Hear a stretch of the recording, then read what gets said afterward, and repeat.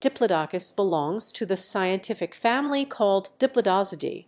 Diplodocide is a group of long necked, herbivorous dinosaurs that lived during the Jurassic period. Diplodocus, along with other dinosaurs in this family, had a distinctive long and whip like tail, a small head, and a body supported by four sturdy legs.